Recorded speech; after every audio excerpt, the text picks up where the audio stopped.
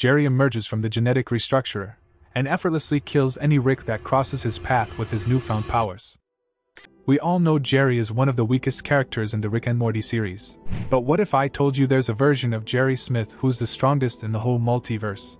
Sounds too good to be true, right? Welcome to NYFO, I'm Harsh, and this is the story of Doofus Jerry. The comic kicks off with Morty coming home with a small head injury, claiming he got into a fight. Surprisingly, Jerry praises him, implying that this runs in the family. This sparks doubt among the family members whether Jerry has ever thrown a punch in his life. Feeling hurt, Jerry storms out of the room and stumbles upon Rick's portal gun. Seizing the opportunity, he decides to use it to find a universe where he's respected.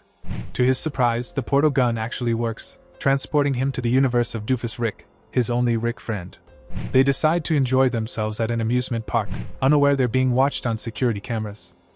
Soon, they're apprehended by a group of men in suits and taken to meet Doofus Jerry, the most powerful man on Earth, the literal definition of success. Jerry assumes Doofus Jerry must be a great guy, and reveals the concept of the multiverse to him. But his impression quickly changes when Doofus Jerry reveals his intentions to conquer other universes. In exchange for the portal gun, Doofus Jerry offers Jerry a life of luxury in his realm, promising respect and authority.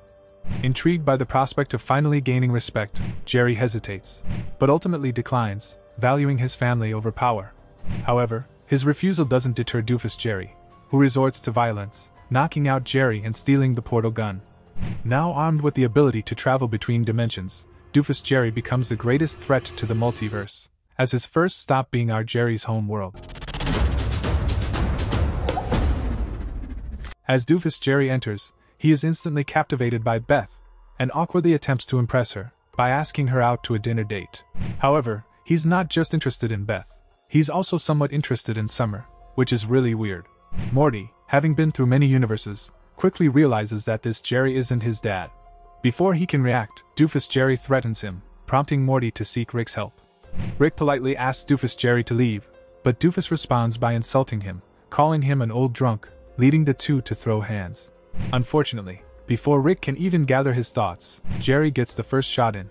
He got on top of Rick before smacking him multiple times, and boasted that Rick had finally met his match.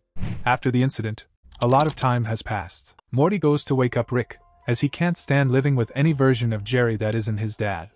Rick reveals that he has tried everything in his power to defeat Jerry, going as far as throwing a cat at him, but nothing seems to work. Rick finally comes to the conclusion that he has been defeated. And as his last resort, he's going to use a neutrino bomb, which would kill every living being on the planet. Believing it's better than living in a world where Jerry is so powerful. Morty, being rational, tries to stop Rick, but their effort go in vain the moment Jerry enters the garage. He reveals that he has already disarmed it, showcasing just how smart he is. Jerry then mocks Morty and Rick, specifically taunting Morty about his mom sending Morty into a rage. Morty attacks Jerry, but it backfires, prompting Rick to join the fight.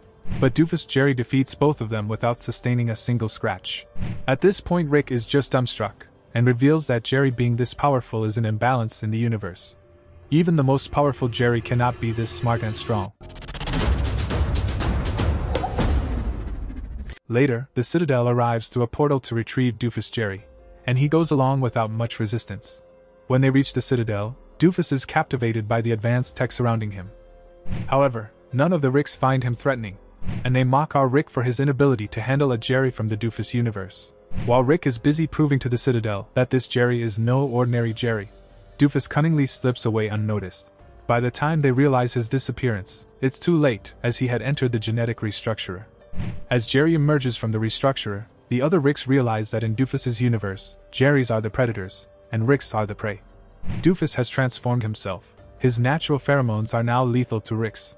This change makes him seem like a god compared to other Jerrys. With his newfound power, Doofus effortlessly kills any Rick who crosses his path.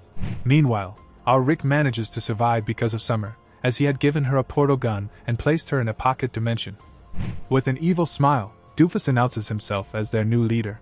They bow down to him as he takes his place on the throne, establishing himself as the most powerful Jerry in the multiverse.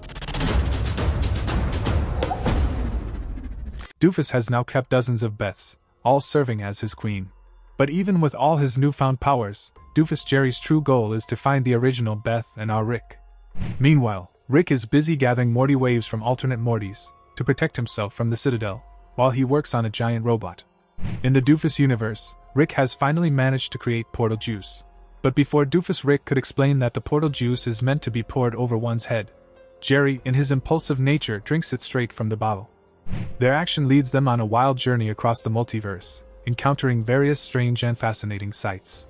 Eventually, they end up inside Rick's giant robot, adding a new twist to the ongoing conflict. Inside the robot, tensions rise as our Rick gives Doofus Rick a very hard time, while Beth and Jerry engage in a heated argument. But despite their differences, they realize the need to band together to confront the looming threat of Doofus Jerry. With a newfound sense of unity, they set their sights on the Citadel, where they discover that Doofus Jerry has turned the Citadel into a colossal robot version of himself. As the battle kicks off, they notice a crowd of Ricks and Mortys as their audience, eagerly anticipating Doofus Jerry's downfall. Unfortunately, Doofus proves to be a formidable opponent, swiftly decapitating their robot before they can even land a single blow.